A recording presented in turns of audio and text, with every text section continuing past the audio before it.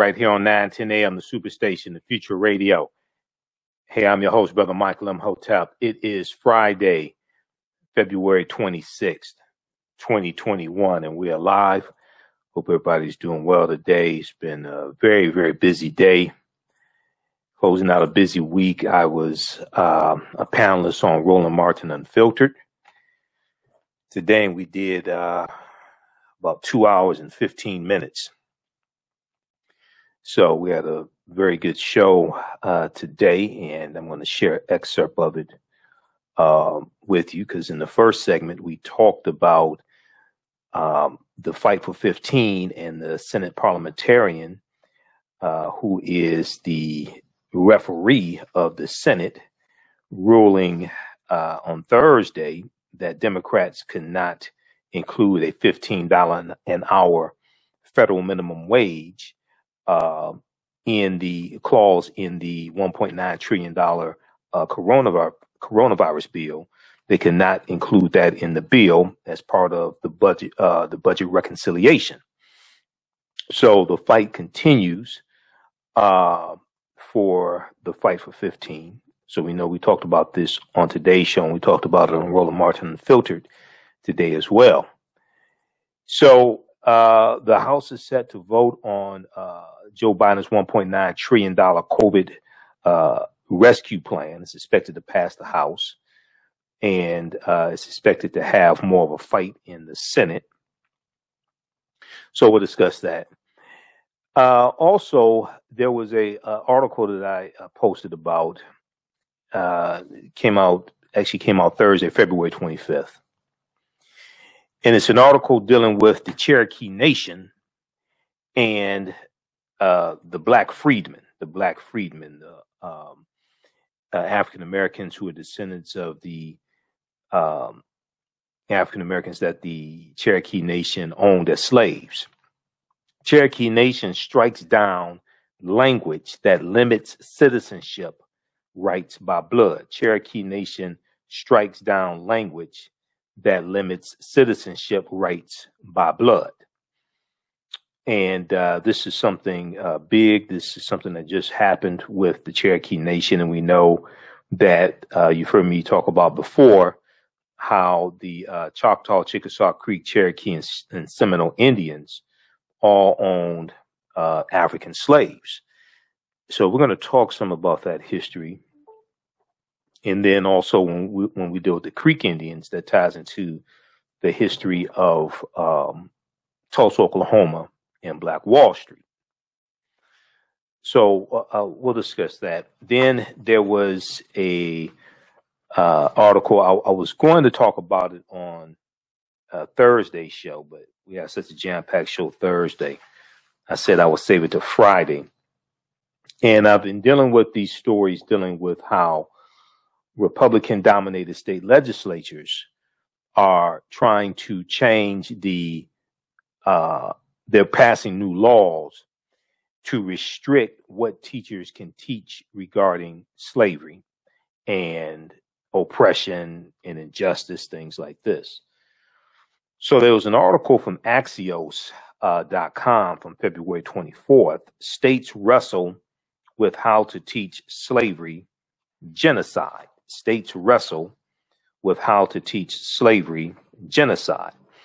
And they talk about the attack on the 1619 project and the push to uh, use the debunk 1776 project, etc. Okay. So we'll discuss that as well. Once again, this is dealing with history in the headlines. And this is dealing with this fight over how to teach the history of slavery, whether or not to teach it, what's going to be taught in school regarding history, etc. Okay. And what people understand about history influences the policies that they support. It influences who they support in office, which politicians they vote for, which policies they support, etc. Okay. What they know, what a particular group of people know about another group of people is based upon what they uh, read, seen, and heard about the people? How have they been educated? Have they been taught the history in school of another group of people, another race of people? are they operating mainly based upon lies and and mischaracterizations and stereotypes? So uh, we'll discuss that, and then also uh, states wrestle with uh, how to teach uh, slavery genocide. Okay, so we'll talk about that and more um, today on the African History Network show. Uh, there, there was also an article from uh, there was an article from uh, Huffington Post that you, so you see uh, many Republicans coming out against the fight to raise the federal minimum wage to fifteen dollars an hour from seven dollars and twenty five cents an hour. A lot of these Republicans are in southern states, former Confederate states. And raising the federal minimum wage to $15 an hour would benefit a lot of poor white Republicans who actually voted for these people. So I, I, talked about it yesterday on the show how I didn't understand this. And somebody else who doesn't understand it is uh, W. Craig Jel, uh, uh, Jelinek, J E L I N E K, J E L I N E K, W. Craig Jelinek. Now, uh, Jelinek is the CEO of Costco. Costco has announced that the you know the warehouse uh, uh, membership club uh, company, Costco has announced that they're going to raise their minimum wage to sixteen dollars an hour starting next week. And Costco CEO W. Craig Jelinek can't understand why Senator Lindsey Graham of South Carolina is against raising the federal minimum wage that has not been raised in 12 years. And once again, as I said on yesterday's show, when it was raised 12 years ago, it was Democrats that raised it, raised it to $7.25 an hour from something like $5.25 an hour, $5.50 an hour. And many of these Republican senators who are against raising the federal minimum wage represent some of the poorest states in the country, like South Carolina, Alabama, Kentucky. And uh, uh, Lindsey Graham is from South Carolina. South Carolina just also happens to be the state that the Civil War started in. Maybe there's a correlation there. I wouldn't be surprised if there is. So we'll, we'll talk about that on today's show. All right. Uh, you can still register for the online course that I teach, Ancient Kemet, the Moors, and the Ma'afa, understanding the transatlantic slave trade, what they didn't teach you in school. Ancient Kemet, the Moors, and the Ma'afa, understanding the transatlantic slave trade, what they didn't teach you in school. This is a eight-week, 16-hour online course that I teach. We deal with thousands of years of history and we deal with what led up to the transatlantic slave trade taking place. It meets on uh, Tuesdays, 8 p.m. to 10 p.m. Eastern Standard Time. We do the sessions live. You can go back and watch it over and over again. Uh, as soon as you register, you can watch the class from this past Tuesday, when my guest was uh, my uh, my guest speaker in the class was Dr. David Imhotep, um, author of the book "The First Americans Were Africans: Documented Evidence." We had a really good class. We dealt with some ancient African history. We dealt with uh, the African presence in the Americas going back tens of thousands of years in this land that we call the United States of America, going back at least 51,700 years ago. So uh, I do a PowerPoint presentation. We have book references, video clips. It's about 50 articles that I reference. Uh, so as soon as you register, you can uh, start watching uh, last week's class and bonus content. Uh, the class is regularly $130. It's on sale $80. So uh, we just posted the link here, or you can go to our website, AfricanHistoryNetwork.com, AfricanHistoryNetwork.com, and register for the class. Okay. All right, now on the um, African History Network show, we focus on educating, empowering, and inspiring people of African descent throughout the diaspora and around the world. Because right now, it's correct your own behavior. What what you do for yourself, what you do to yourself, and what you allow other people to do to you and get away with is based upon what you think about yourself. What you think about yourself is based upon what you have been taught about yourself. What you've been taught about yourself is based upon everything you've read, heard, and seen about yourself. So when we control the radius of a man's thoughts or a woman's thoughts, you can control the circumference of his or her actions because the mind can't do or teach what it doesn't know. Now, we deal with a number of different topics here on the African History Network show. We deal with current events and history, politics, education, economic empowerment, entrepreneurship, relationships, love, sex, health issues, and much, much more. Sign up for our email newsletter. Text the word Kemet, K E M E T, the 22828.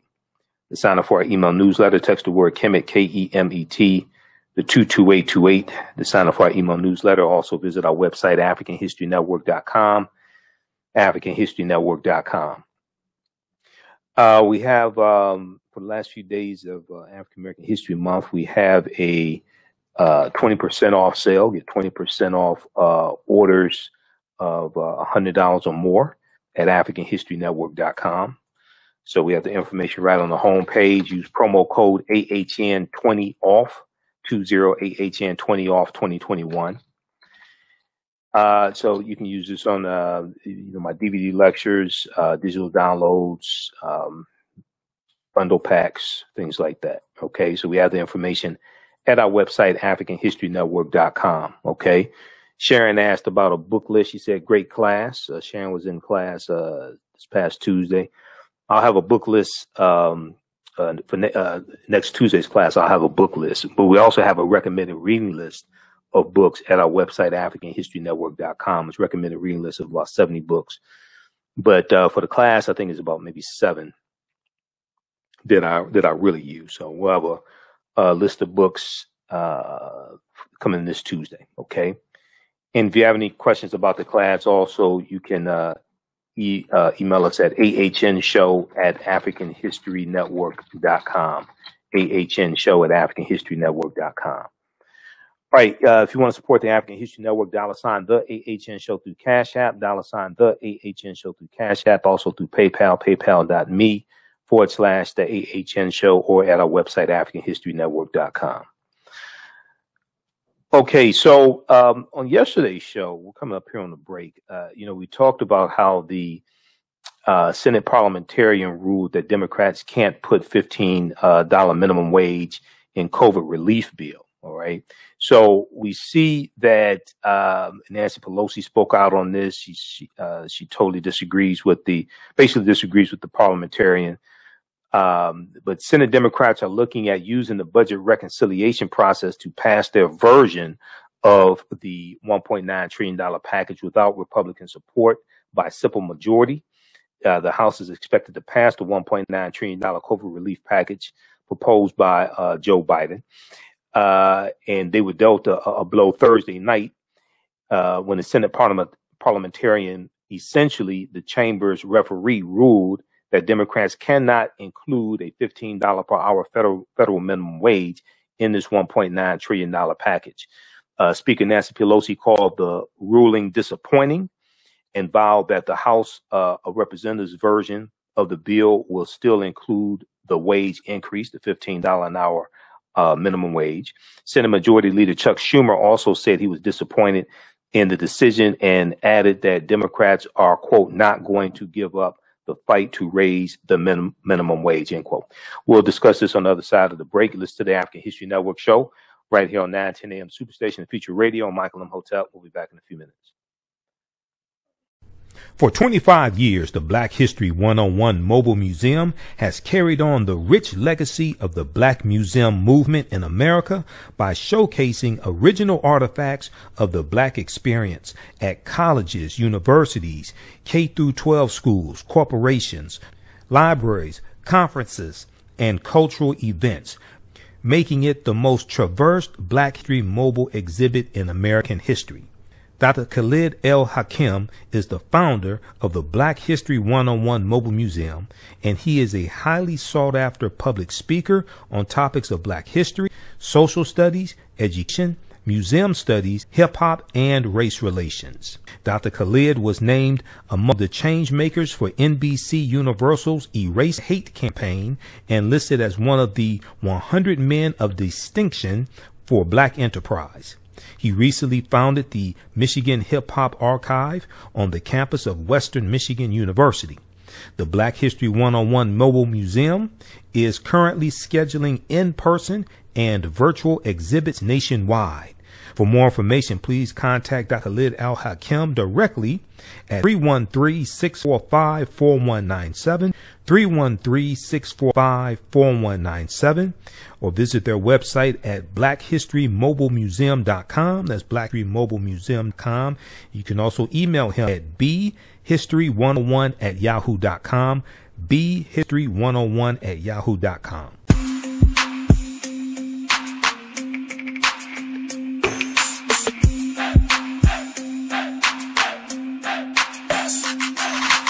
Are you getting ready for fall or winter?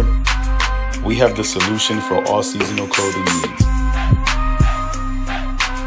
Kemeticwear.com is the go-to online source for Kemetic African fashion and lifestyle products with a contemporary twist.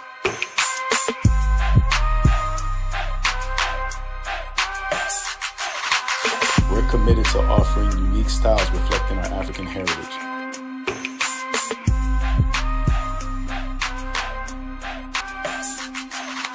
Kemeticwear.com is inspired by KemeticScribes.com to influence our people in learning and showing pride. Please visit our website at Kemeticwear.com.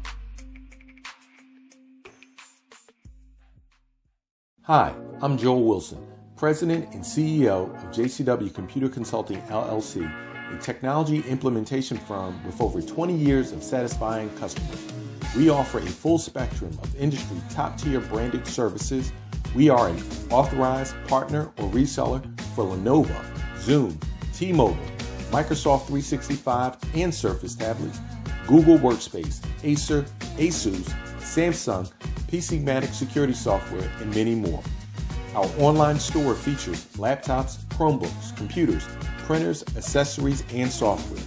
Businesses, take advantage of our free one hour Zoom tech consultation and know we offer top nationwide high speed internet service providers, voice over IP, and cellular phone services. Home users, don't miss our current in stock Chromebook inventory. Please visit us at jcwcc.com or call 215 879 6701. Digital Dandelion's Technical Solutions works with businesses like yours to create an operations manual for your business, which is something many businesses don't have. According to AARP, more than 30% of small business owners are over 50 years old. Many business owners want to retire by selling their businesses or by passing their businesses on to their children.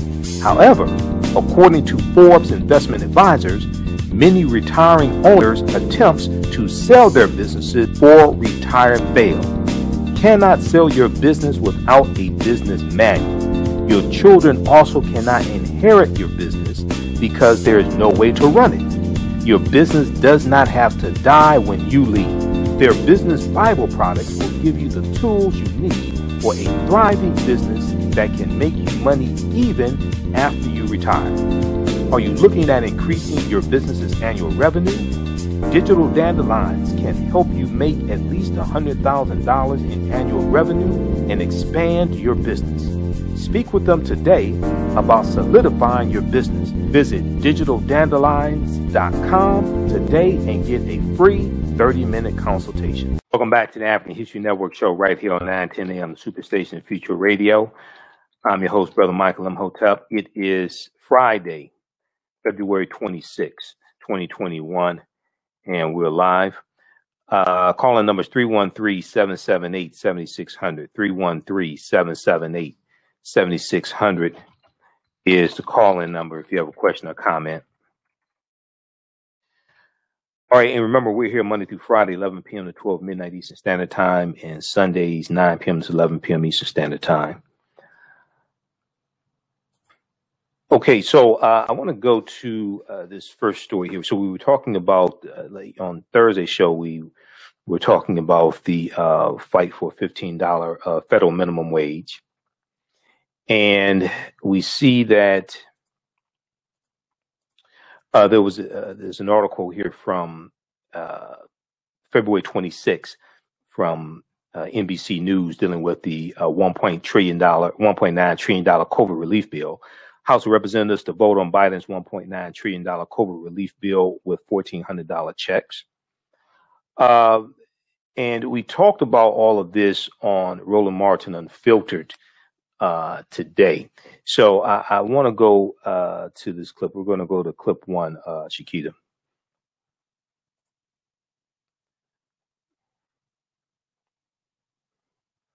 Accomplished when you have power. End of story. Um, Michael, again, uh, and I, I made the point yesterday, and I, I saw some folks they were they were commenting on this uh, on, on the segment that we did where I where I said Democrats, um, if you don't pass these things, you're asking to get your butts kicked in 2022. You can't go out and make an argument to people uh, if you want to if you want to replace if you want a Democrat to replace Rob Portman, if you want a Democrat to replace Richard Burr, if you want a Democrat uh, to replace uh, uh, Ron Johnson in Wisconsin, if you want a Democrat to replace uh, Pat Toomey in Pennsylvania. I mean, the, the reality is Democrats have an opportunity to expand their majority. You're not going to be able to go out and convince people, hey, if y'all come out and vote, and do all you can to put us in power, we're going to do what's right. Not when you had the shot. Right. You, you, you know, when you have power, you have to wield the power because you don't know how long you're going to have it. But the, you know, I talked about this last night on my show, Roland. Um, there is an element that there's a tool that I don't I haven't heard anybody mention yet. Period. In any of these discussions, that tool is economic withdrawal, targeting certain corporations that back some of these Republicans who are standing in the way and speaking out against the fifteen dollars an hour. And what I mean by that is that you know you know this, Roland. FEC.gov, Federal Elections Commission, it lists the corporations that donate to people who run for federal office, U.S. House Representatives, U.S. Senate, and President. We need to really look at because see, as, as Dr. Greg Carr said yesterday on your show, there are no rules. There are no rules. Okay, so we really have to take a page from uh, Dr. King, April 3rd, 1968. I've been to the mountaintop. He said we have to always anchor our external direct action with the power of economic withdrawal. If you look at what the CEO of Costco said today, they're raising their minimum wage to $16 an hour. And he said he can't see why, uh, $15 an hour, say, raising their minimum wage to $15 an hour. And he said he can't see. No, Costco's going to 16. Yeah, Kyle? Costco's going to 16. That's what I thought. Go ahead, go ahead. Yeah.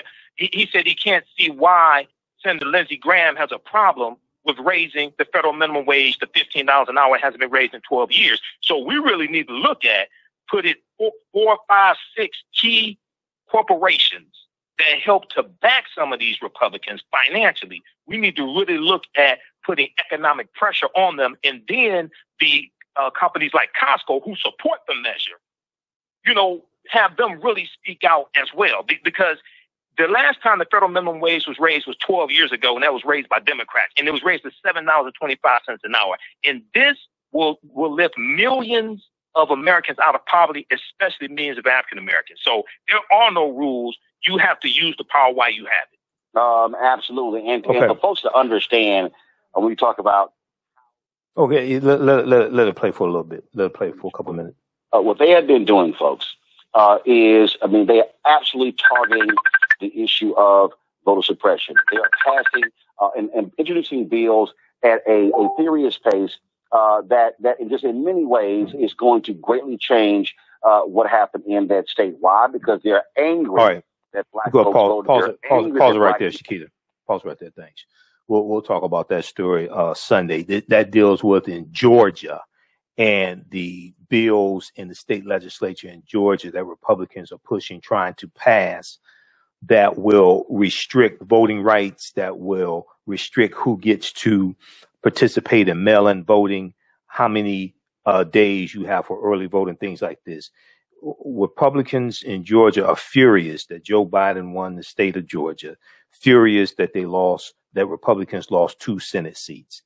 And instead of coming with better policies, because we've talked about this before, instead of coming with better policies, instead of coming to African Americans saying, hey, these, this is how our policies are going to help your people, you should vote for us instead of Democrats. What they're trying to do is make it harder for African Americans to vote and not talk about policies.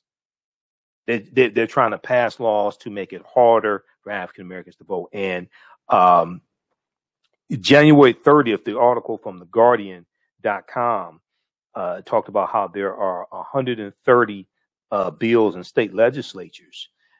Uh, I'm sorry, 106 bills in state legislatures uh, dominated by Republicans to try to make it harder to vote. Okay. Uh, well, that was January 3rd. Now there are 253 bills in state legislatures. Okay. Uh, that Republicans are pushing, trying to make it harder to vote. Now, there's something like at the time there was 106 bills. There was about 400 bills being pushed largely by Democrats to make it easier to vote.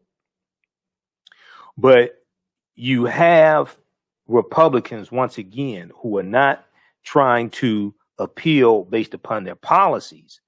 They're trying to win elections by making it harder to vote and restrict who gets to vote. Okay, so read this article here from theguardian.com. In 2021 legislative sessions, lawmakers in 28 states have pushed a whopping 106 bills that will restrict voting access. 106 bills that will restrict voting access. Now it's 253 bills.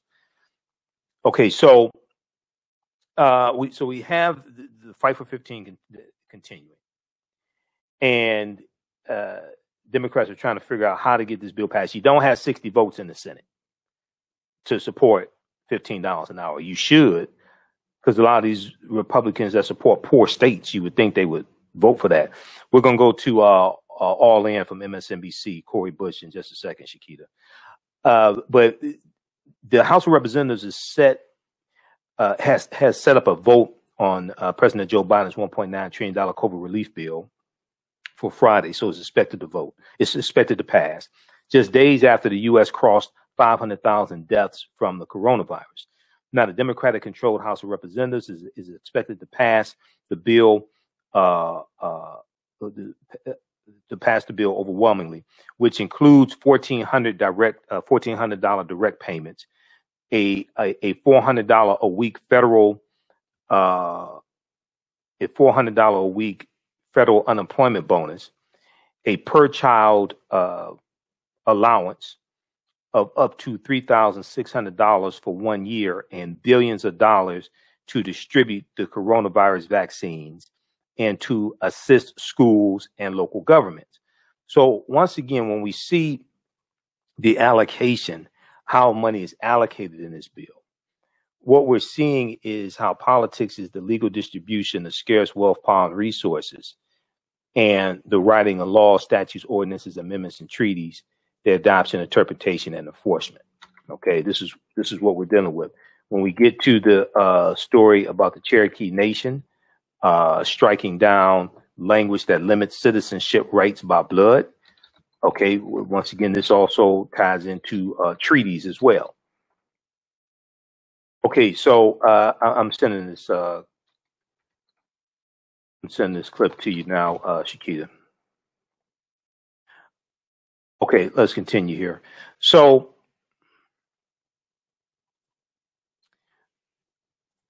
just one second. Let me flip back over. All right. Now, it would be the sixth round of uh, federal aid. Uh, uh, this bill, this $1.9 trillion bill, will be the sixth round of federal aid. The economy is still reeling from widespread shutdowns. You still have about 18 million people getting some type of pandemic unemployment assistance. And most Americans continue to wait their turns to be vaccinated. Now, after the sun set on the U.S. Capitol, a House panel voted to reject a slew of Republican amendments and send the bill to the floor, setting up a midnight vote. Uh, Speaker Nancy Pelosi uh, promised that, quote, it will be passed in the House, end quote, adding that she wants it to become law by March 14, 2021, when jobless benefits expire. Current, current jobless benefits expire March 14, 2021, which is just basically two weeks from now. She said, the sooner we pass the bill and it is signed, the sooner we can make the progress that this legislation is all about, saving the lives and the livelihood of the American people, she told reporters. Now, the legislation faces widespread opposition from congressional Republicans. Okay, and, and you you you have to ask the question why. This will help a lot of the poor people that keep voting for your dumbasses. That that we still can't figure out why they're doing it. Well, well uh, part of it deals with white supremacy and racism. Okay, and uh, um, a lot of them uh, want to keep uh, resources away from African Americans. So they, you know, th- they'll um, a, a, lot of them are focused on keeping resources away from African Americans and trying to just hold on to what they have. Okay, um, and but off, but what happens is they don't realize that a lot of the policies that are good for African Americans are also good for them as well. Now, the legislation faces widespread opposition from congressional Republicans who decry it as a liberal wish list, a liberal wish list. Okay. What was that $1.4 trillion tax cut that you gave millionaires and billionaires? Now, recent polls show that the package is popular with most Americans earning 66% support in an, in an Economist YouGov study and 76% support in a Morning Consult uh, po- a Politico survey. House Minority Leader Kevin McCarthy, who a Republican from California who has no spine, has no backbone, um, attacked it Friday as a quote costly, corrupt, and liberal COVID package end quote on Twitter. But you side, but you're siding, you're supporting Donald Trump, and you went down to Mar-a-Lago to kiss Donald Trump's ring, and I don't know what else you kissed while you were down there. But you you're siding with a guy who incited the insurrection to overthrow the government, and you want to talk about corruption. This is these are the type of people we're dealing with. These are the type of amoral amoral people we're dealing with. Okay, I, I call Donald Trump Lucifer and the flesh. These are Lucifer's helpers. These are Lucifer's helpers. No, no morals, no spine, no backbone. Just rotten, corrupt to the core. It is not clear whether any Republicans will back it, and GOP leaders are pressuring their members to vote no. But the narrow Democratic majority in the House of Representatives can pass it on a party line vote if it largely sticks together. Okay. Now, the $1,400 payments would uh, be sent to individuals who make up uh, who make up to $75,000 a year or married couples making $150,000 a year, and they would gradually decrease for those who make more, zero, zeroing out at uh, $100,000 for individuals and $200,000 for couples. Now, the House bill also includes a federal minimum wage uh, hike from $7.25 now to $15 an hour, phased in over four years. It increased by uh, $1 each year up until the year 2025. Um, so right about that to, uh, to yeah, $15 an hour uh, increased by one dollar each year. Okay, so uh, check out this article here from uh, NBC News. House to vote on Biden's 1.9 trillion dollar COVID relief bill with $1,400 checks. Okay, this is from uh, February 26, 2021. Now, this ties directly into policy, economics, uh, lifting people up out of poverty, and raising the federal minimum wage to fifteen dollars an hour, and we see Costco is is uh, raising uh, their minimum wage to sixteen dollars an hour. The CEO of Costco just can't understand um, uh, Lindsey Graham, little, little spineless Lindsey Graham. Okay, if we look at this article here quickly, then we're going to go to this clip from uh, MSNBC, Shakita. Uh, if we look at this clip here, uh, Costco CEO doesn't understand what's wrong with Lindsey Graham. A lot of us don't understand what's wrong with Lindsey Graham. Costco CEO doesn't get Lindsey Graham's problem with a $15 an hour minimum wage. Now, one, one of the problems is that uh, a, a lot of these Republicans are totally out of touch with like everyday common people. Many of them are millionaires. They make at least $170,000 a year. They don't know what it's like to try to survive on eight dollars an hour, nine dollars an hour, ten dollars an hour. They just just totally shut off from reality. Senator Lindsey Graham on Thursday found himself to the right even of the chief executive of a major corporation as the two debated a $15 an hour minimum wage. Costco CEO W. Craig Jelinek could not quite get why Lindsey Graham was arguing about the higher wage, perhaps because Costco is preparing to up its own minimum wage to $16 an hour starting next week. The company, which employs 180,000 people, Costco employs 180,000 people, paid $15 an hour back in 2019, and more than half of the workers are now earning $25 an hour. Wow. I think there's going to be a lot of people applying to Costco. Now, the increase, quote unquote, isn't altruism. Costco CEO W. Craig Jelinek said at a hear at a hearing of the Senate Budget Committee, quote, at Costco, we know that paying employees good wages makes sense for our business and constitutes a significant competitive advantage for us. It helps us in the long run by minimizing turnover and maximizing employee productivity.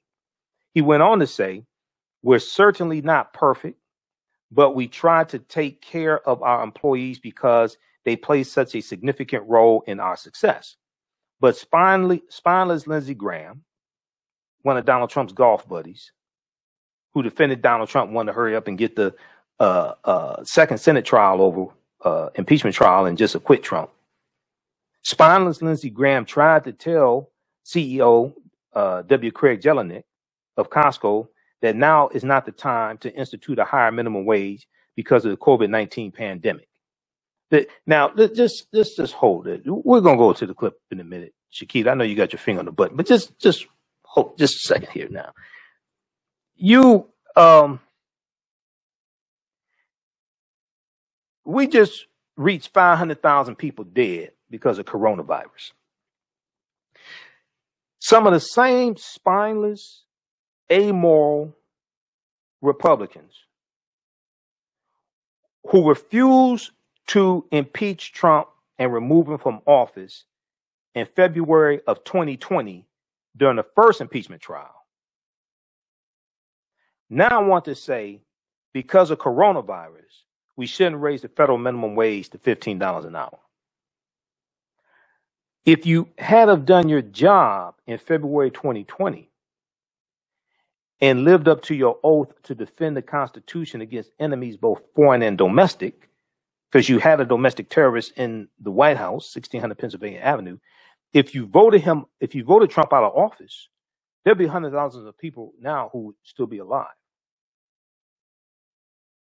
because Trump mishandled the coronavirus pandemic that then tanked the U.S. economy. If you voted him out of office in February 2020, that's basically the second month of coronavirus. Even though Pence is horrible, he was still better than Trump and more. He would he would have been more responsible in handling coronavirus than Trump. He wouldn't have been spouting a whole bunch of conspiracy theories and all this nonsense that Trump was doing. There'd be there'd be hundred, basically hundred, hundreds of thousands of people still still alive today if you had done your job. Now, because you didn't do your job and you have half a million people dead, coronavirus, i- i- i- you have 18 million people collecting unemployment insurance, some type of pandemic unemployment insurance. Okay. Yeah, tens of thousands of businesses that are, that are going, uh, uh, tens of thousands of businesses going out of business. I don't even know the exact number now of businesses that have gone out of business. We know 41% of African American owned businesses have gone out of business. Now, because of this catastrophe, that you were largely responsible for it getting to this point because you didn't remove Trump from office when you had the chance in February 2020. Now you're saying because of the catastrophe that you helped exacerbate, we should not raise the federal minimum wage to $15 an hour. Um, okay. So this is once again an example of how elections have consequences. But but spineless Lindsey Graham tried to tell uh, Jelinek this is not the time. Now the senator said he wasn't really concerned about large companies like Costco, but he was worried about small business owners. Okay, he was worried about small business owners, though apparently not about workers. Quote, who is struggling because COVID has reduced their capability to earn a living. Do you understand where I'm coming from? Uh, Jelinek asked. Okay, uh, who asked? Uh, uh, Lindsey Graham asked that question. It appears. Jelinek responded that he did understand where Lindsey Graham was coming from. Quote, so if you run a restaurant or hotel and nobody can travel in the country and seating capacity has been reduced, the revenues are down, can you understand why an increased mandate from the government in terms of cost would be a devastating blow? Uh, Lindsey Graham asked. Jelinek replied, I can't understand why it would be a devastating blow. I think it's a devastating blow to employees. He began perhaps to make a point of minimum wage, but Graham spoke over him. The Senate, the senator chided him for not seeing the business hardship of doubling the minimum wage. He said, Lindsey Graham asked, you don't understand? And Jelinek responded, I don't know that I was suggesting doubling the minimum wage. When asked by Lindsey Graham if he would support $11 an $11 minimum wage, a proposal put forward by Senator Joe Manchin, spineless Joe Manchin, Democrat from West Virginia, who needs to be voted out of office also. Council CEO Jelinek responded, it's better than $7.25 an hour. Far, uh, uh, uh, fair enough. Okay. Re- read the, read the rest of this article here. I want to go to this clip here from Representative Cori Bush, who knows what it's like to be poor, knows what it's like to be homeless, wasn't born with a silver spoon in the mouth.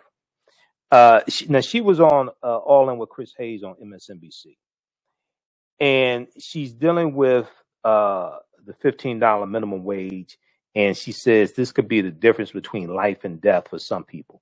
Let's go to this clip, Shakita.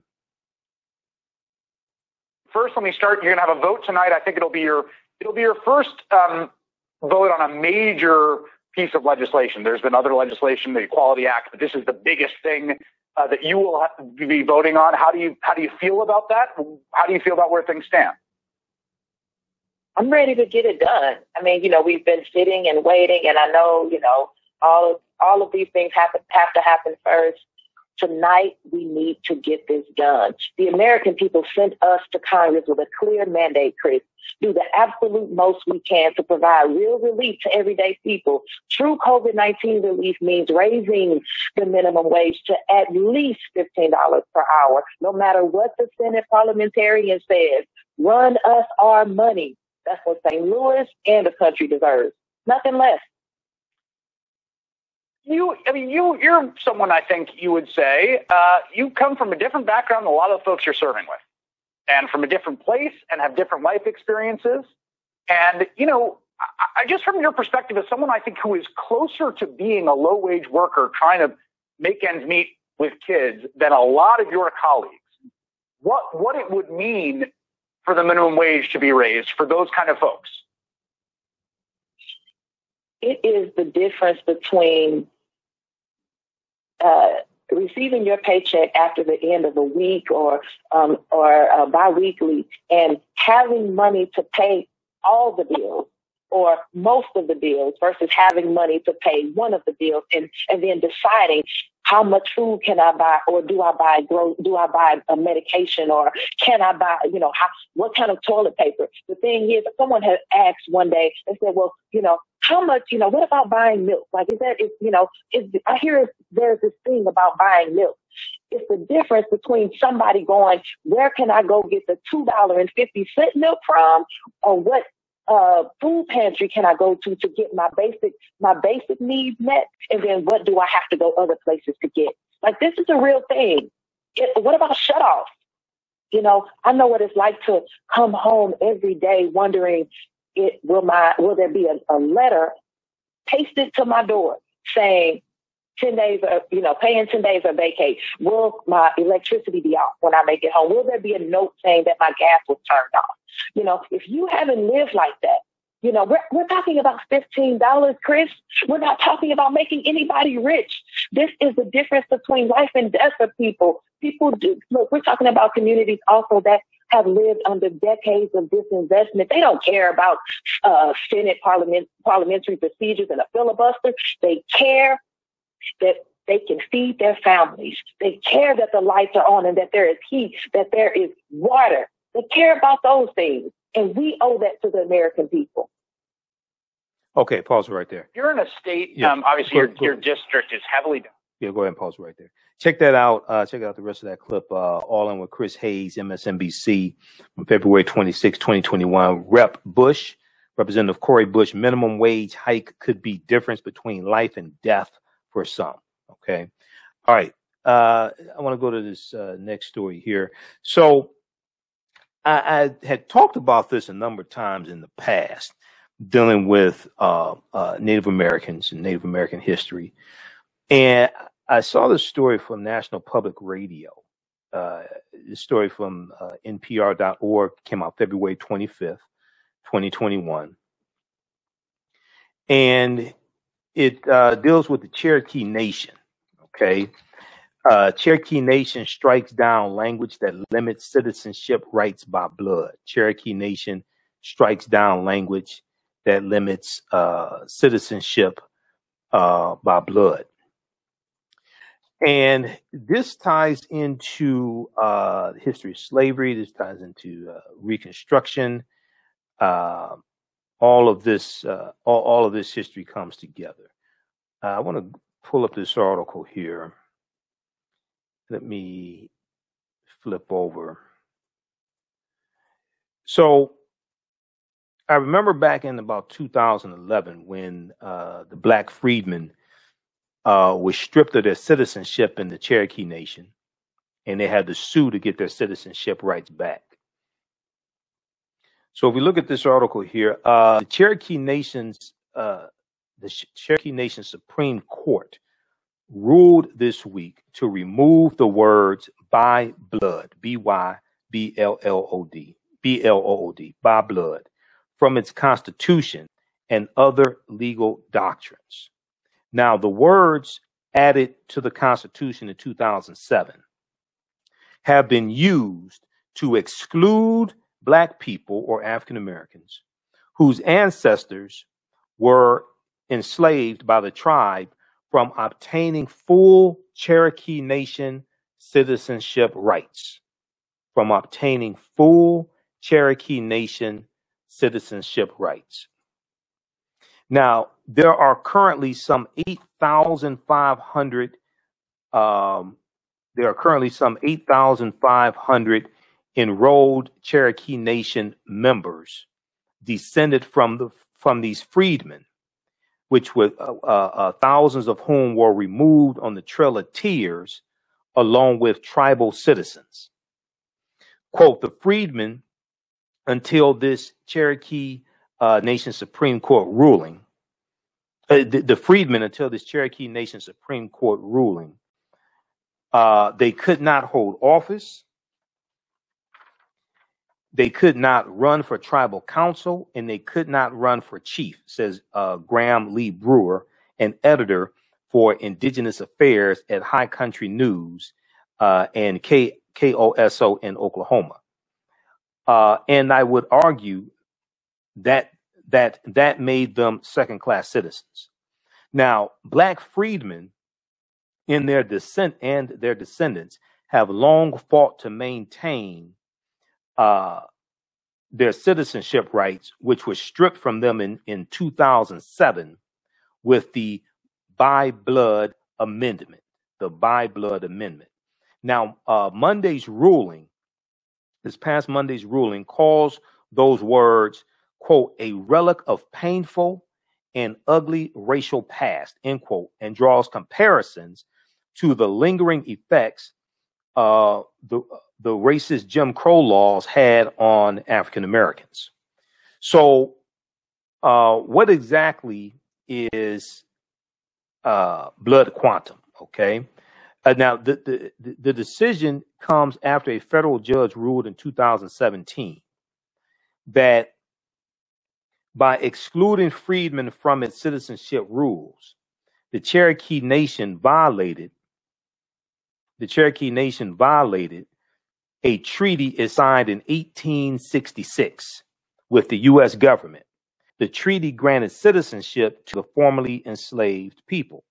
This deals with the Black Freedmen Indian treaties of 1866 that you've heard me talk about so many times before. This then ties into the history of uh, Sarah Rector in uh, Oklahoma among the Creek Indians. Okay, we just talked about Sarah Rector uh, about three weeks ago. All right, now, if we look at the, let's see, let's flip over here. I'm going to go to this article on Sarah Rector in just a minute. See, all this history comes together history and policies and laws. Okay. Now, uh, Brewer, who is a citizen of the Cherokee Nation, explains that citizenship rights grant access to services such as tribal health care, scholarships, college scholarships, housing programs, and, and more. For many descendants of freedmen, he notes the Cherokee Nation healthcare system is their, is their only option for healthcare. So the discussion about removing them from the citizenship status, it wasn't just a citizenship question, it was a civil rights question. He, he tells uh, all things considered. Now, uh, so check out the uh, check out the rest of this uh, article here. Let's see here. Uh, so they have some excerpts from the interview. What other legal what other legal implications, what other cultural implications uh, might flow from this change. Now, this really makes it possible that someday a descendant of a freedman, of a black freedman, could be the chief of the Cherokee Nation. It would really illustrate the strength of tribal sovereignty because our citizenship laws are not based on race. They, they are based on community and, and belonging. And so it's much more than just the quote amount of Indian blood that runs in your veins, end quote. It's what community do you claim and what community claims you. All right. Um, so those of us that have uh, Cherokee ancestry, uh, we need to look into this and see if we can become members of the Cherokee Nation and, and take advantage of some of these benefits. Now, they talked about the treaties of 1866, and then this ties into Sarah Rector as well. Uh, the Cherokee Nation violated a treaty signed in 1866 with the U.S. government. The treaty granted citizenship to formerly enslaved people. All right, look, we're out of time here on 910 AM Superstation WFDF. Those watching on Facebook and YouTube, keep watching. We're going to keep going for a few more minutes on our Facebook fan page, the African History Network, and our YouTube channel, Michael Imhotep. Remember, right now is correct. Wrong behavior is not over till we win. Wakanda forever. Uh, we'll talk to you Sunday night. Peace. Okay, stand by. Uh, let's keep going. Okay, how's everybody doing? Also, if you'd like this type of information, you can support the African History Network, dollar sign the AHN show through Cash App dollar sign the AHN show through Cash App, also through PayPal, PayPal, paypal.me forward slash the AHN show, paypal.me forward slash the AHN show. Okay. Let's go um, uh, quickly because we're going to get out of here. We also have the weekend sale. Um, the last few days of African American History Month. Get 20% off orders of $100 or more at AfricanHistoryNetwork.com. Uh, DVD lectures and digital downloads. Use uh, promo code AHN20 off 2021, AHN20 off 2021. We have the promo code uh, on the homepage of our website also. All right, so if we look at this um, article here from face2faceafrica.com dealing with uh, Sarah Rector, in the article, it mentions the uh, 1866 treaties. And these were treaties with the Choctaw, Chickasaw, Creek, Cherokee, and Seminole Indians that all owned African slaves. These are known as the Black Freedmen Indian Treaties of 1866. All right. So a few weeks ago, we, we talked about Sarah Rector. She was known as the richest Afro American uh, uh, girl in the in the in the world or in America. At, in 1913, she was 12 years old. Oil was discovered on land that she got through these Black Freedmen Indian treaties. Okay, uh, and her her parents were born of uh, enslaved Creek Indian ancestry. So Uh, Rector Sarah Rector was born in Indian Territory March 3rd, 1902. According to sources, she was considered colored, though not African American. She was African American. They called her colored. Her parents were owned by Creek Indians before the Civil War. As the site U.S. slave explains, she and some 600 other black children were entitled to land allotments as children of enslaved people belonging to the Creek Indian Nation. Why is this? In 1866, the Creek Nation signed a treaty with the United States government promising to emancipate their 16,000 African slaves, incorporate them into their nation as citizens entitled to, quote, equal interest in the soil and national funds. This is the same thing the Cherokee did. This the Cherokee do a treaty like this as well with the with the U.S. government.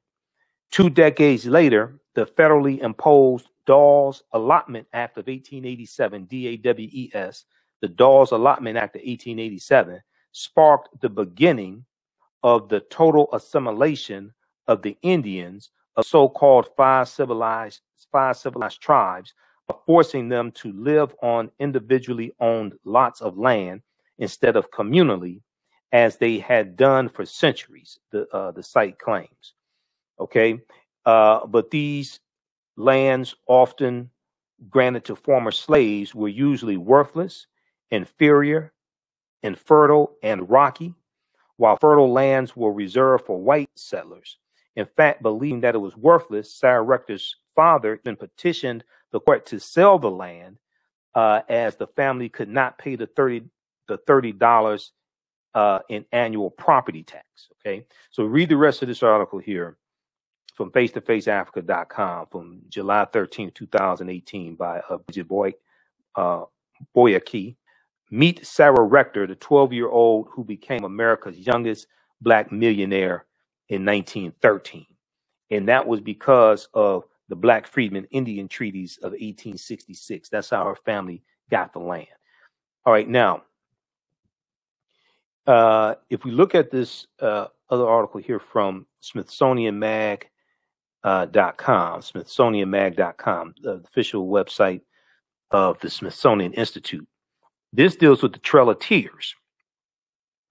Okay, so usually when we talk about the Trail of Tears, we talk about thousands of Native Americans being forced to go out west over a thousand miles on the Trail of Tears. They get pushed off their land in southeastern United States because of the Indian Removal Act of, of, of 1830. All right. Now, what we usually are not told is that one third of the people on the Trail of Tears were Africans. Okay. These were basically African people owned by these uh, what are known as the five civilized tribes of Native Americans.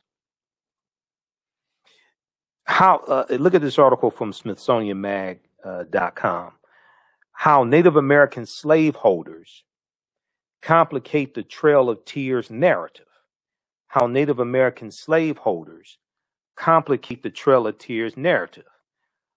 Now, this is uh, this was a, an exhibition at the National Museum of American Indian uh, National Museum of the American Indian. Okay. And this exhibition prompts a deeper dive for historic truths. Now, this is from March 6, 2018. Okay. So check out this article as well. Um, all right. And they talk about the uh, African slaves on the, on the Trail of Tears.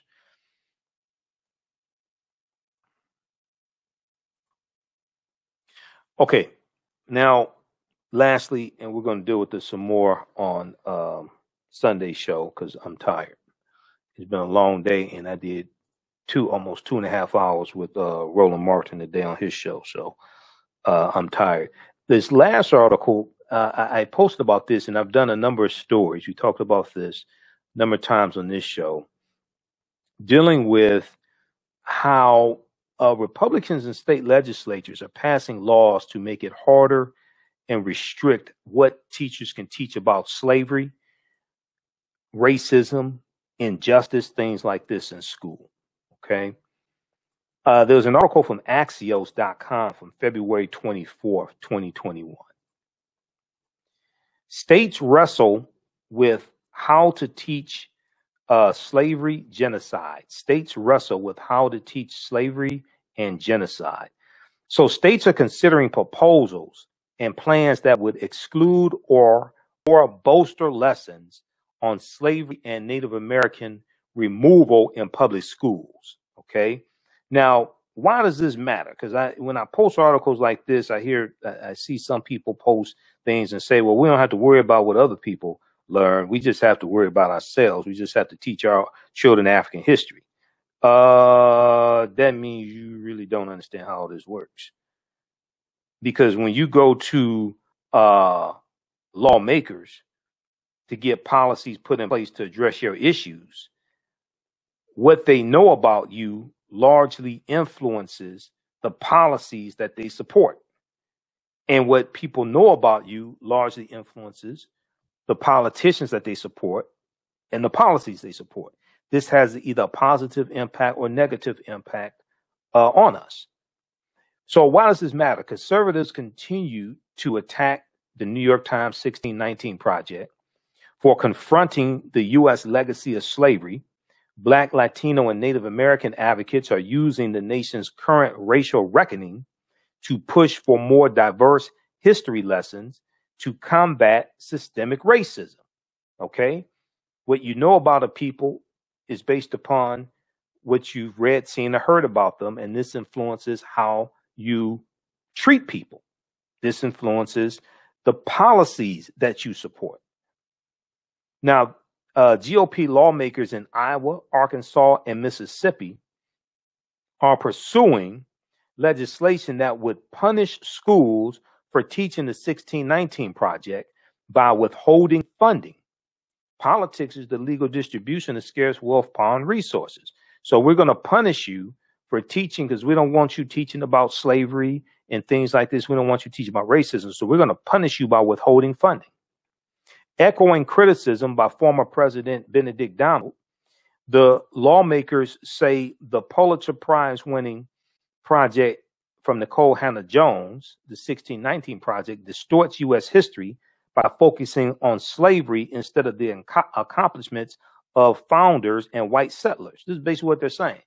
Don't talk about slavery. We don't want you to talk about slavery. Now you're focusing on slavery too much. Even though there are some flaws with the 1619 Project, it's still much better than the 1776 Project that Donald Trump commissioned.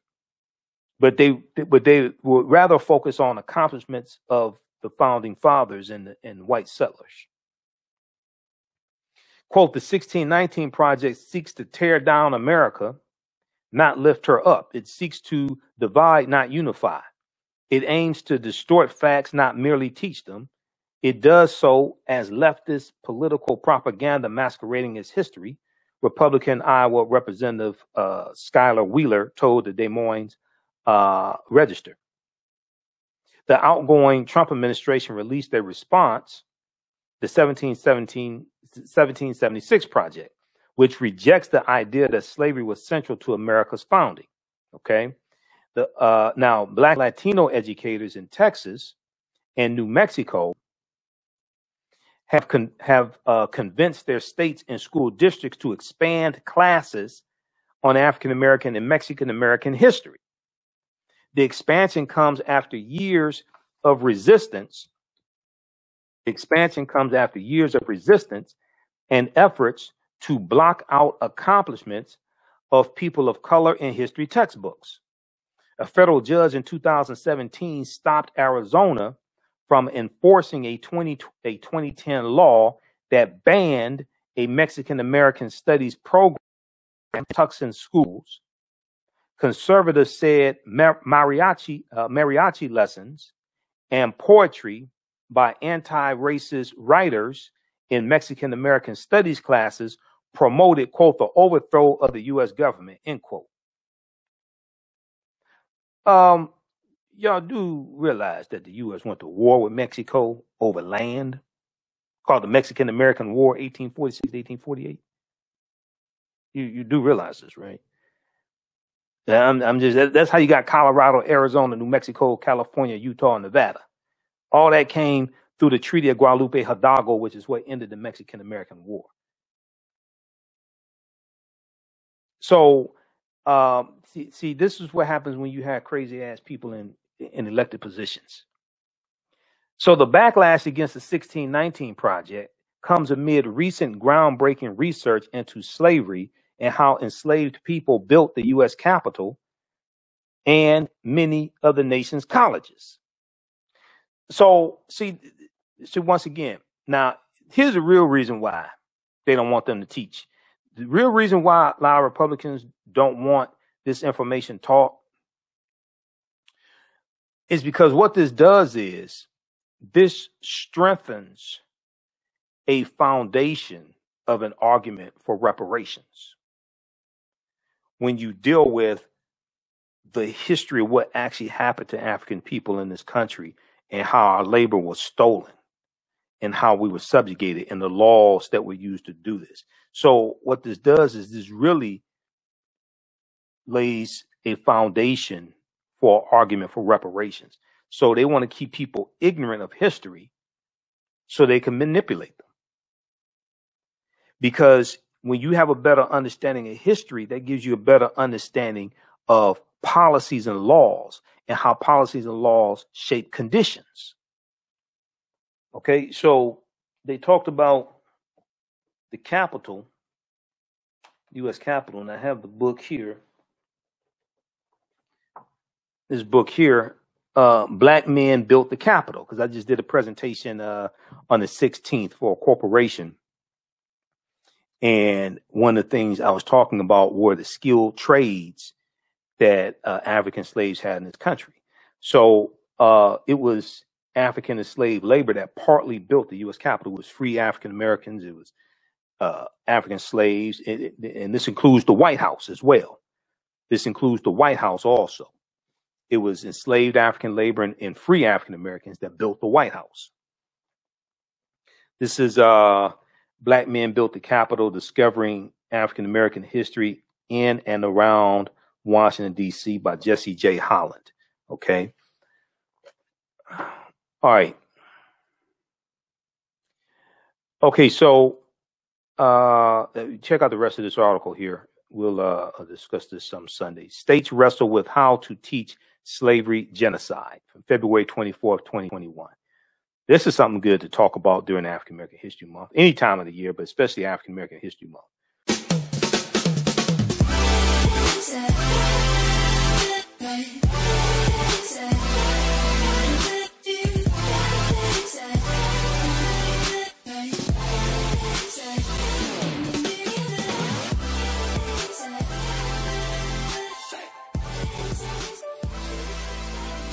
Visit 4glossygirls.com. That's the number 4glossygirls.com and follow them on Instagram at 4glossygirls. Digital Dandelions Technical Solutions works with businesses like yours to create an operations manual for your business, which is something many businesses don't have. According to AARP, more than 30% of small business owners are over 50 years old. Many business owners want to retire by selling their businesses or by passing their businesses on to their children. However, according to Forbes Investment Advisors, many retiring owners' attempts to sell their businesses for retirement fail.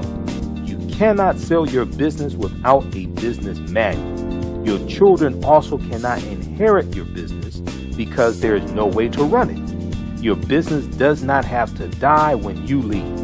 Their business Bible products will give you the tools you need for a thriving business that can make you money even after you retire.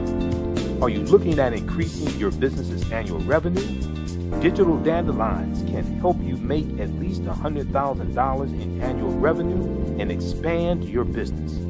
Speak with them today about solidifying your business. Visit digitaldandelions.com today and get a free 30 minute consultation. We all know the cannabis industry is headed toward an uprise in the past decade. What happens when there is a brand that brings this uprise in a blow? The cannabis industry welcomes her uprise. Hustle her hemp. Delivering excellence with pride is her watchword, and how you choose to embrace it makes it a priority. From cultivating rich cannabis into exquisite and tastefully finished CBD products to delivery, Hustle Her Hemp leaves no stone unturned. Hustle Her Hemp's mission is to empower women of color by building business and creating legacies, uniting beauty, health, and business. We are a pure definition of how we want the CBD industry to become in the future. While we are redefining innovation, we bring the same energy to improving the quality of life. Hustle Her Hemp is the new uprise.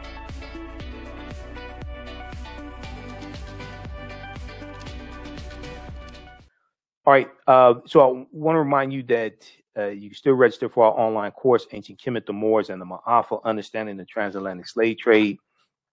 They didn't teach you in school. Uh, it's on sale $80 regularly, uh, $130. You can watch from around the world. Okay. You can watch from around the world. Uh, we do the classes live Tuesdays, 8 p.m. to 10 p.m. Eastern Standard Time, and all the classes are archived. So you can go back and watch it over and over again. So when you go to our website, AfricanHistoryNetwork.com, okay, and you scroll down, you'll see the information for our uh, uh, end of the month, uh, Black History Month uh, sale. Get 20% off DVD lectures and digital downloads of $100 or more. Use promo code AHN20 off 2021. Okay. And then we have information for our radio show, uh, the African History Network show. You can click here to listen to audio podcasts of our shows. Have over a thousand audio podcasts uploaded. Click here to read articles that I've written. We have information for the online course here. Click here to register for the online course. Okay. And then uh, click here to enroll. Okay. And as soon as you enroll, uh, you can start watching content. You can watch uh, this past Tuesday's class with uh, Dr. David Imhotep, author of the book The First Americans Were Africans Documented Evidence. And then the class we did before that with uh, Sister Nubia Wardford, who's a cultural anthropologist. All right. Uh, then also when you scroll down, you see I was on the panel discussion for Zeta Phi Beta Sorority Incorporated Wednesday, February 24th. Uh, let's celebrate Black History. So that was on Zoom. It was a virtual Black History Month celebration. So we shared that on our Facebook fan page also. Uh, then we have the uh, uh, Michael Imhotep Black History Month 15 DVD bundle pack. Okay. And click right here so you can use the 20% off uh, discount on this bundle pack and uh, other uh, bundles and DVD lectures, digital downloads. Uh, so this includes 15 of my presentations dealing with uh, uh, history, all different topics. You get three lectures I've done dealing with the film Black Panther, uh, Black Panther analysis, African culture, history, and Afrofuturism, because I did a lot of research on the film Black Panther. I read over 100 articles dealing with the film and the movie Black Panther, and I deal with I deal with how the film relates to African history, African culture, African language, spiritual systems. I deal with what the word Wakanda means, because Wakanda is a real word as well. It's a it's a um, um, it's a Bantu uh, it's a Bantu word. It's uh, in the Key Kikongo language. But Wakanda is also a Native American language, like the Omaha Ponca and Sioux Indian language. It means possesses secret powers, possesses secret powers, which is a lot like Black Girl Magic. Um, but there were 11 different African cultures that were infused into the film Black Panther also. So I, I break down a lot of that information. Uh, that's a almost three hour presentation I did on Black Panther. We have this one here, Breaking the Chains, why we celebrate African American History Month. And uh, this lecture deals with the uh, real history of African American History Month and Dr. Carter G. Woodson, uh, the founding of the Association for the Study of Negro Life and History, September 9th, 1915. And I, I dispel uh, myths about our history uh, as well. Okay, with uh, with this lecture, this is a three-hour, it's about a three-hour presentation. I have one dealing with Malcolm X. Why is he still relevant? This one here deals with the distortion of the legacy of Dr. Martin Luther King Jr. The revolutionary will not be televised on the television. I deal with the revolutionary Dr. King. The Dr. King that tried to get a concealed pistol license in Montgomery, Alabama in 1956 because Dr. King owned guns until Bayard Rustin convinced him to get rid of his guns. Uh, this is another one dealing with Black Panther, lessons from the film Black Panther. How do we take the enthusiasm from the film Black Panther and use it for economic empowerment and political empowerment? Okay. This is lessons from the film Black Panther, economic guerrilla warfare, political self-defense, and uh, how to Wakanda the vote, how to Wakanda the vote. All right, so uh, we have that one, and then this one here deals with the Three Fifths Compromise of 1787, which ended Reconstruction and uh, the history of the Electoral College and how the Electoral College works. Contrary to, so the Three Fifths Compromise is Article 1, Section 2, Clause 3 of the U.S. Constitution. Contrary to popular belief, it did not say we were three fifths of a human being. That's a misunderstanding of it. It says for the purpose of representation and taxation, that they would count three fifths of the population enslaved. Uh, but that, that's trying to determine how many seats in the House of Representatives slave-holding states will um, uh, will have. How many seats in House of Representatives slave-holding states will have is not saying that we were three fifths of a human being or anything like that. But also, the way the count was taken was corrected by Article Two of the uh, Fourteenth Amendment of 1868 as well. Uh, this one, the 13 forms of wealth uh, and redistribute the pain keys to economic empowerment and entrepreneurship. So this has um, 13 key traits that African Americans uh, need to have, uh, African American entrepreneurs need to have. Then I tie all that into history and historical figures. Because I used to teach entrepreneurship. My degree is in business administration. I taught entrepreneurship for seven years. Uh, the racist history of the white national anthem and the Pledge of Allegiance. Okay, and I tie all this history in Colin Kaepernick's protests, and I deal with uh, the history of the, the national anthem, history of the Pledge of Allegiance, things like this. Francis Scott Key, who wrote it in 1814 during the War of 1812. This is a double lecture I did with Dr. David Imhotep, who wrote the book, The First Americans Were Africans Documented Evidence. Uh, we did this in 2013. So he's dealing with new research from his book, and I'm dealing with uh, Great African Women in History, the Mothers of Civilization. We did this here in Detroit. Uh, this is a four hour presentation. It's a three DVD set redistributing redistributing the pain. How African Americans historically fought back against economic boycotts. There's a picture here with uh, one of my teachers, Dr. Claude Anderson. Um, that was a lecture I went to that he did in, I think that was in Baltimore. Brother Jabari in Baltimore did that. But this deals with uh, historic examples of us using different types of economic withdrawal strategies to fight back against uh, white supremacy and racism. Okay, to fight back against white supremacy and racism. Uh, documented examples of different types of economic withdrawal strategies. So that's a hell of a presentation. Um, these are usually PowerPoint presentations that I'm doing. I have video clips in them, all different types of things. And I deal with redistribute, redirect, and renegotiate.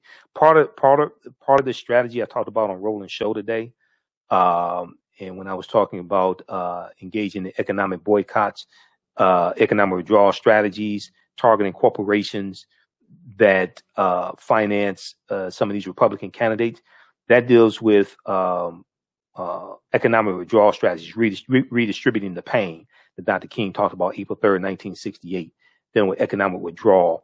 And then also uh, later in later in Roland Show, I talked about renegotiating our relationship with corporate America. I think that was later in the show. And I deal with that here redistribute, redirect, and renegotiate. And this is something Dr. Claude Anderson is, is talked about. I learned some of this from Dr. Claude Anderson. Uh, renegotiate, renegotiating our relationship with corporate America and having funds redirected to our businesses in the form of uh, in the form of contracts with various corporations. Okay, so uh, we have that one also. That's a hell of a presentation right there, if I say so myself. This one here, the light of ancient Egypt awakes the African uh, African mind, economic empowerment. This is during African American History Month. This is a, a really good presentation as well that I did. This deals with the real history, not the fake history that you see on social media memes, but the real history of the Tuskegee experiment of untreated syphilis of the Negro male. Okay. Uh, contrary to popular belief, they did not inject them with syphilis. They're drawing blood here. They did not inject them with syphilis. There were 600 men in the study. Uh, 399 uh, of, of, the men, of the African American men, had an early form of syphilis called latent syphilis, L A T E N T, latent syphilis. And uh, this uh, early form of syphilis has no symptoms. You have syphilis, but you have no symptoms uh, there were 201 men in the study that um, had syphilis. There were 201 men in the study that did not have syphilis at all. They were the control group. Okay, they did not have syphilis at all. They were the control group. So, um, yes, they were denied medical treatment, proper medical treatment. We know it was a horrible study, but was even worse was just some of the lies people are telling about it, uh, and it's just uh, just nonsense. Okay, so th- I deal with the real history of the Tuskegee experiment and how it was exposed. Uh, it ended in 1972. It started about 1932, 33. It was supposed to last six to nine months, but ended up lasting about 40 years. And I deal with a lawsuit that was filed on behalf of the survivors of the Tuskegee experiment as well.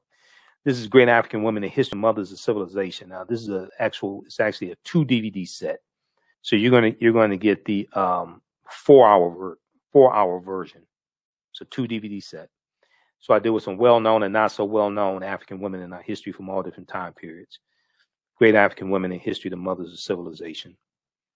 Uh, this one here I did for children, a Black Panther analysis, African culture, history, and Afrofuturism. I was speaking to 65th through 12th graders and their teachers. Did this at the Charles H. Wright Museum of African American History. And um, um, I'm showing them how the film Black Panther relates to uh, African history, culture, uh, language, uh, different things like this, and how the teachers can use uh, the film, how they can take the enthusiasm from the film Black Panther and use that to uh, help teach our children their history. Okay, so a Black Panther analysis uh, for children, African culture, future, African culture, history, and Afrofuturism. And the children liked the presentation. The adults liked it as well. I'm doing a PowerPoint presentation for them. Uh, the teachers liked it, so that was really good. All right, and then uh, this one here, African American resistance in the era of Donald Trump, voter suppression, reparations, how elections have consequences. So I deal with uh, three main themes. One, uh, similarities between Richard Nixon becoming president in 1968 and Donald Trump becoming president in um, 2016. And I deal with the uh, how Nixon was a backlash to the Black Power movement and the Civil Rights movement and the rebellions taking place across the country, and how um, Donald Trump was a backlash to two terms of President Barack Obama and the Black Lives Matter movement. And uh, he was the backlash to holding police officers accountable also. That's why he signed the Blue Lives Matter bill into law in 2018. People think that was, for some reason, people that don't do research think that was President Barack Obama. No, it was 2018. Trump was in office. Trump signed that because he ran on that platform in 2016 during the presidential election. And then he ran on that platform again, law and order, in 2020 presidential election. But I also deal with the rapid voter suppression that took place in the 2016 uh, presidential election as well, and how there were 868 fewer polling places in the 2016 presidential election as a, as a, a result of the um, lawsuit of Shelby County versus Holder, U.S. Supreme Court case of 2013 that gutted Section 5 of the Voting Rights Act. Uh, lastly, Ancient Kemet, the Winter Solstice, and the History of Christmas.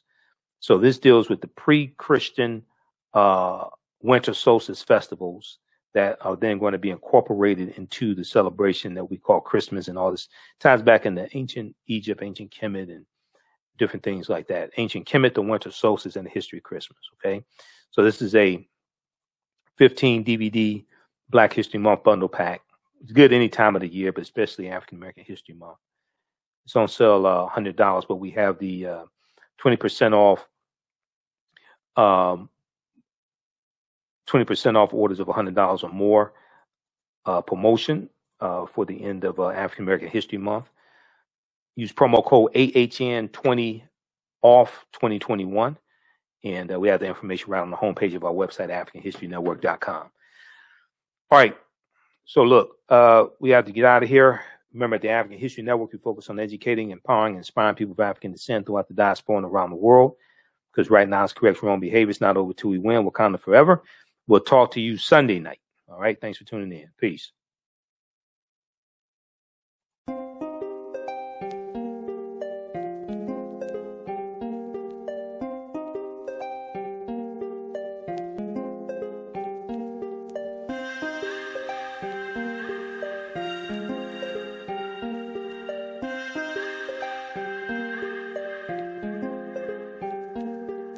Black products are a collection of natural, organic, personal care products with an appreciation of nature and bees. Our philosophy is without bees, we have nothing. We are honoring our Nile Valley ancestors who understood the importance of bees. Black Bees created a high quality, natural, organic personal care line that would be affordable to everyone. Hope you try and enjoy our Black Bees products line and come back and visit us at blackbeesproducts.com. With blackbusinesstee.com, the messages are clear and meaningful. Keep your business in the black and out of the red.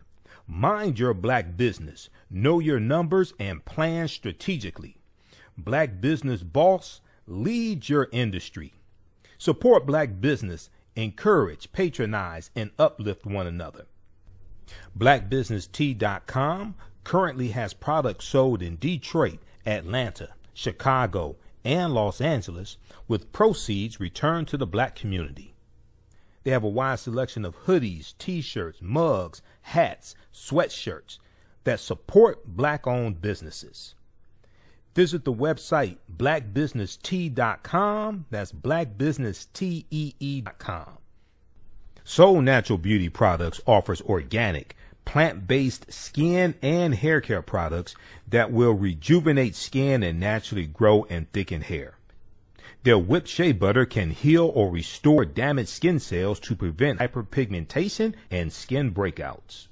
All products are made with organic plant based ingredients. Their maximum hair growth oil is fortified with organic herbal extracts and undeniably proves that Mother Nature knows best. It thickens, lengthens, softens, and conditions all types of hair.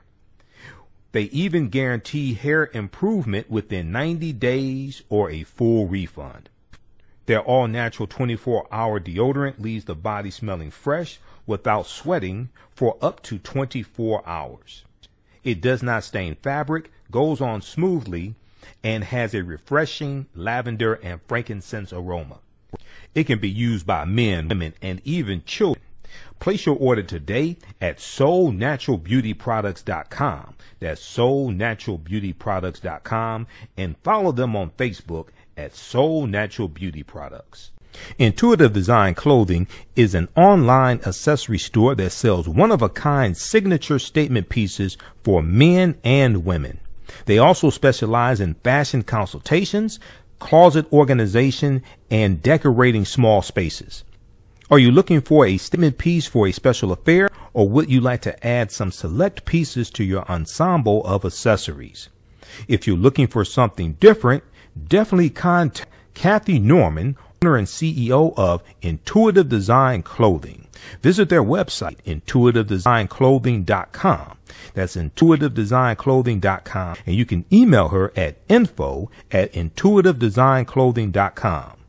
Intuitive Design Clothing is where every entrance is a grand entrance. Yaya Rule is a line of African print inspired apparel catered to the black community. The pieces include t shirts, sweatshirts, hoodies, jackets, dresses, skirts, activewear, bags, and other accessories and home decor. This brand offers a revived way for men and women to wear their black pride and honor their African heritage anywhere at any time. This apparel line is for anyone, whether you are in the corporate world, are an entrepreneur, or an artist. Their selection will allow you to casually let your pride shine or dress it up as wanted. It is for those who have already embraced African fabrics and for those who are just getting introduced to them. Reclaim and experience a part of our culture with rich and colorful African prints. The clothing line and the accessories are available right